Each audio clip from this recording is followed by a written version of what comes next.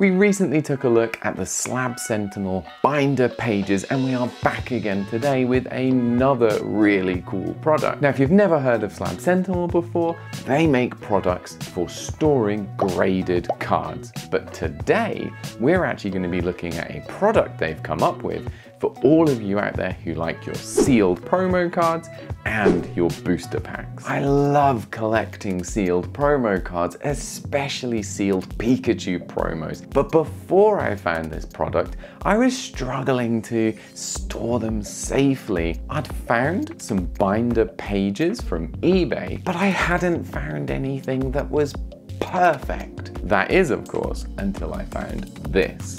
But Dave, how is this unassuming piece of acrylic plastic going to make a difference?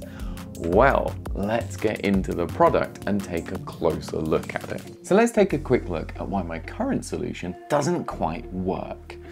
So in here we have some of my lovely Seal Pikachu promos, but as we can see, these pages are really flexible. And if something was to catch the ring binder, it's got the potential to bend and damage your card. So that really begs the question of how are these inserts going to get around that problem? Well, let's go and take a look at what we get and how they are meant to work. Each insert comes individually packaged and what you actually get is one sleeve that is obviously designed to fit a sealed promo or a booster pack and you get the insert itself which is this piece of recessed acrylic here. So as you can see there is a recess in the middle that is the same size as the sleeve and it is a nice and clear plastic. So the idea is that you take your sealed promo and first of all we are going to put it into the sleeve and this not only gives it a little bit of extra protection, it also helps it stay in place when we are putting it inside these inserts. Next, what we do is we are going to take the sleeved card and put it inside the recess. And obviously we want that to be upside down so that when we are viewing it through the front of the plastic, we can actually see what's on the card. Now, I find it a lot easier to load these pages up, whatever that is you're putting in, whether it is these inserts or it's slabs, when the pages are out of the binder. So we're gonna go ahead and quickly whip this one out. What we need to do is get this into the space in the slab binder page. Now, clearly what we could do is we could try and lower it in really carefully, but there is a really, really big risk that the card is gonna move as you're pushing down on the insert, and you could end up pinching the card and damaging either the cellophane wrapper or, God forbid, the actual card itself. Here is what I do instead.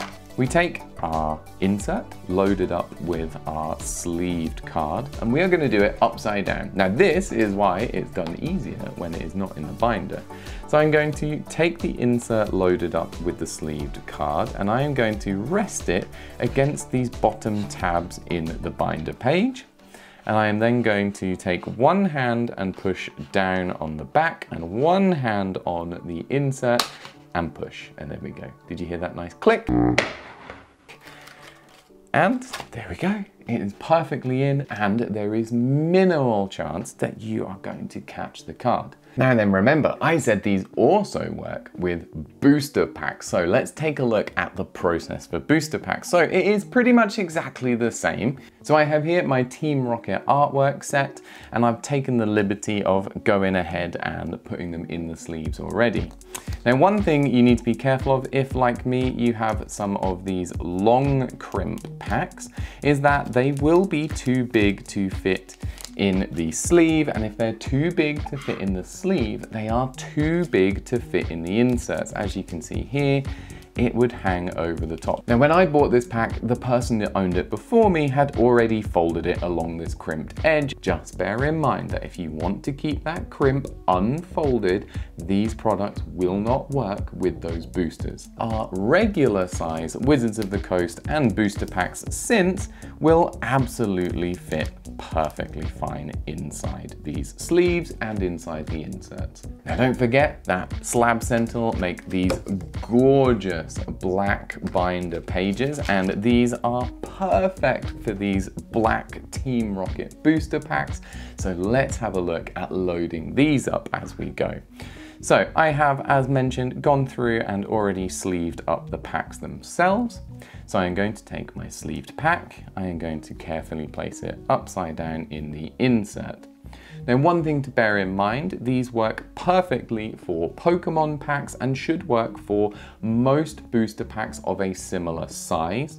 And what I also mean there is the depth of the pack. Obviously, we need to be careful that the depth of the pack isn't going to exceed what we can fit inside this slot. Let's get these loaded up in this page. So I'm gonna go through the same process again. I'm going to push into the bottom corner flip and click it in. Great. And we are gonna rinse and repeat. Oh, beautiful. And there we have it. We are ready to put in our binder. And because I can, I will be putting my Team Rocket packs in my Team Rocket binder. Look at that, doesn't that look fantastic? The black page, the black packs, in the Black Team Rocket binder. Mwah, chef's kiss. I would really, really recommend though that you have a few trial runs using the inserts with just the sleeve without any card in it or perhaps putting a card you might not worry about getting damaged too much because it can be a little bit fiddly to get used to, but it is totally worth it. Okay, let's talk about the price then. So these are currently available from the Slab Sentinel website, which we will link in the description below. They are £17 for four inserts and one of the clear binder pages. However, when we first bought these, you could buy the inserts separately to the binder pages. This is something that I would really love to see Slab Sentinel go back to, simply because it is really nice to have the option to either have the clear binder page or the black binder page. Now clearly at these prices, these are not aimed to be used for every single card in your collection. These really are for securing and storing safely those really precious cards and sealed promos and packs that you want to keep pristine. Now there is something worth noting however, because besides this, what are you going to do to secure these sealed packs and promos? The only other real viable option is actually sending them away for grading and getting them encapsulated. And that is going to cost an awful lot more, where PSA, for example, start at $30 per pack to have graded and encapsulated. And the more expensive an item that you're trying to get graded, the more expensive the grading is going to become. So suddenly, that's 17 pounds to secure four cards in nice hard plastic actually doesn't become too bad. So what do I use them for? Well, I love to store my Pikachu sealed promos in here, including probably my favorite thing in my entire collection, my sealed E3 Red Cheeks Pikachu promo. What I also love to do as well is mix and match between slabs and the inserts. One thing we noticed when we got our first batch of these inserts, however, is there were quite a lot of air bubbles in the plastic of the casing, presumably where it had been glued together. But there are some really important things to note there. So since then, the inserts have come pretty much perfect. There have been a couple of air bubbles, but nothing compared to that first batch that we got, which really shows that Slab Sentinel are working hard to improve their processes, and we love to see that. And of course, don't forget we are not dealing with a giant manufacturer here like an Ultra Pro. Slab Sentinel is a small, independent business, and the fact that they can bring a product to market, as good as this is, without that giant manufacturing budget is quite frankly pretty amazing. So then, do you think you have a need for this product? I would love to hear from you in the comments down below what you would be storing inside these binder pages with those inserts. If you like this video, you would love the review we done of the binder pages themselves, or perhaps go and check out the review we done of Gemloader's top loader binder, which lets you actually store top loaders in a binder. It's pretty cool. Okay, that is everything from me today. I'll see you on the next one. Bye.